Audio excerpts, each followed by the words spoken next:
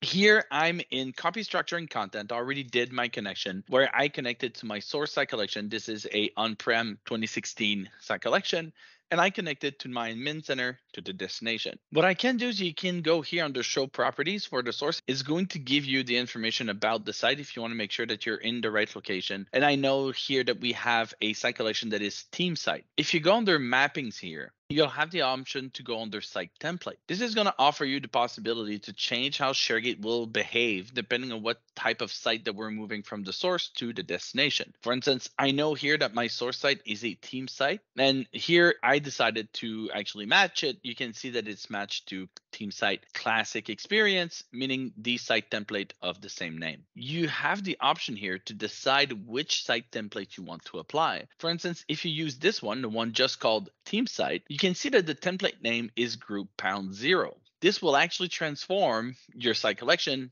instead of being just a classic team site to be a Microsoft 365 group that's a modern site with no Microsoft 365 group attached. Um, you also have the possibility to change them to a communication site. These other templates are all the templates that are possibly available for your destination. Some of them are not available anymore. For instance, uh, publishing might be a little bit tricky depending on the version of SharePoint you're connecting to. Second thing I really wanted to to browse over is that we're getting a lot of people that really want to leverage Teams themselves. The way that Teams work is that the Teams itself creates a Microsoft 365 group. The Microsoft Microsoft 365 group creates a site collection. In that site collection, there's a library called documents, and every single channel has a folder in there.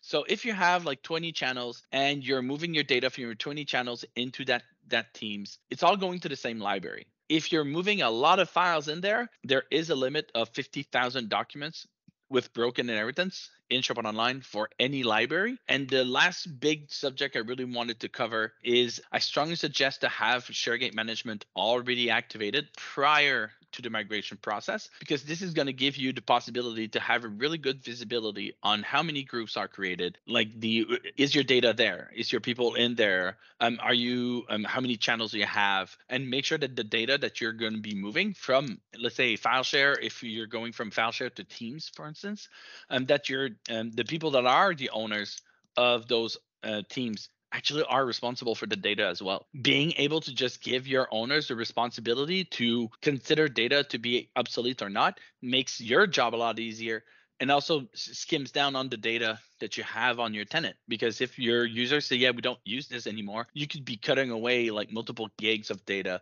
within your destination after the migration is completed